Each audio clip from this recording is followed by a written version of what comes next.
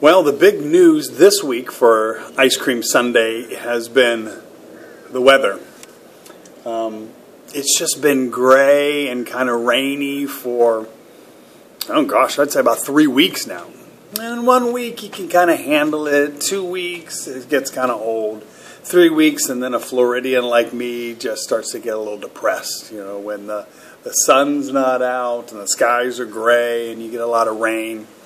And that's what we've been dealing with a lot lately. so I thought for this week's Hot Fudge Sunday, we would be outside. We would come out here to the little courtyard outside of the between the sanctuary and the, the chapel.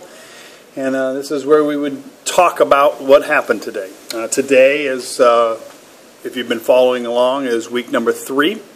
This is the step where we change our want to we make a commitment. We make a commitment to um, we make a commitment to give our life and our will to the care and control of Jesus, and that, that's a huge step. And we talked a lot about what that means and why why Jesus, why not someone else, or why not something else, why not another religion, why Jesus. And so we talked about those things today. But I think um, more importantly than that, I, I think the weather. Um, is a big part of this week. Um, there's a, a, spirit when it's rainy uh, that's hard to overcome. Um, makes the, the music a little bit more mellow. It makes the, the message a little bit more mellow. And I know those of you who are watching this that maybe deal with way different weather than what we deal with down here in Florida, you're saying boo hoo hoo, wow wow. But the fact of the matter is, is, is that we're not used to that sky. The sky that we're used to is sunshine. We're not used to it being this gray, as you can see. In fact, right now, as I'm talking to you, it's starting to rain a little bit. So yeah, here it goes. A little bit more weather coming in. Uh, and the weather does definitely influences our life. It, influences the way that we see the world. It influences the way that we relate to each other. It influences physically the things that we can do. We can't do as many things if the weather is rainy, and the, the weather has been rainy here for several weeks. Um, and so I think there there is a spirit of that. I sensed in the worship service today, uh, it, it, was hard to get things going. Um, it was hard to it was hard to kind of get traction. And I think a lot of it has to do with the fact that people are saying, you know what, uh, it's the weather outside's not that great, and uh, that kind of brings me down a little bit.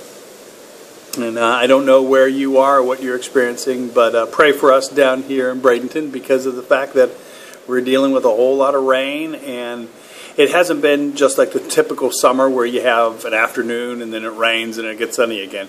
These are this has been like all day, every day for like three weeks. Uh, lots of flooding, um, lots of issues with water that people are dealing with, and uh, you know that's kind of how it's been. In fact, I'm going to pick this up and take this on the road a little bit because of the fact that um, it's starting to rain and, and I don't want to get wet, and I especially don't want my uh, tablet to get wet. So we're going to head into the church here, open the door, take a walk in. It's going to be dark because the lights aren't on, so let me walk over here to the light switch. Hey, there we go. Now we are inside. And we can finish up this, this hot fudge sundae. I'll go over here by the light. Hmm.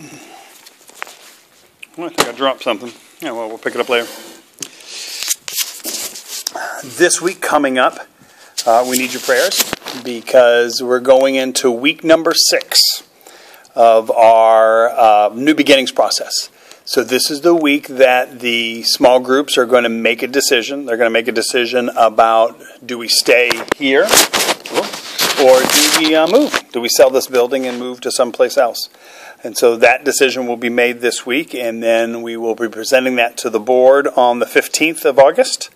And then uh, to the congregation after that as we as we make our plans for moving forward. So please keep our New Beginnings groups in, in prayer because of the fact that they will be making big decisions this week. We have a daytime group that meets on Wednesdays from 1.30 to 3.30, and then we 1.30 to 3.30, yeah, and then we have an evening group that meets on Tuesday nights, and they meet from 6 to 8.